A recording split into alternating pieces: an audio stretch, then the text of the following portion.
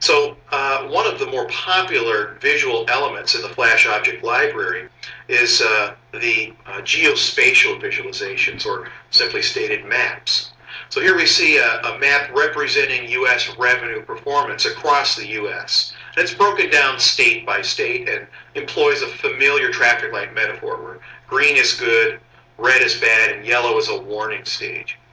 So the geospatial representation of this summarized uh, enterprise data yields us and affords us some unique insight into the information that might otherwise be lost if we were to represent it in a simple list or table. For example, here we see along the eastern seaboard that we actually have a higher concentration of above goal revenue performance.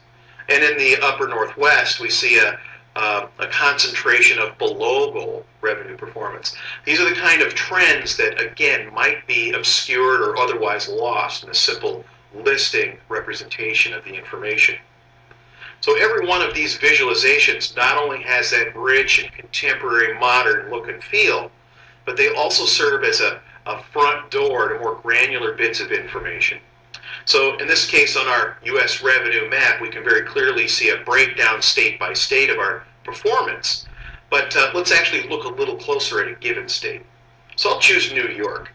We can simply point, click, and in fact drill directly to more granular detail that feeds this particular top-level metric. So it's very often at higher levels of summarization, underlying details are actually lost.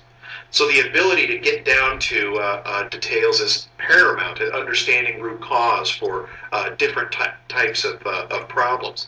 And here I've just drilled into the state of New York where we see a breakdown county by county of our revenue performance.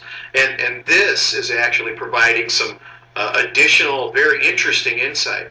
In fact, at the state level, we saw the entire state as above goal performance. But when we break it down county by county, fewer than half the counties are actually above goal. But one county in particular is so far above goal, so we see here that New York County, it's actually elevated the entire state to being in that above goal category. So again, the, the visual environment providing us the insight to instantly assess and, and uh, understand what the data really means.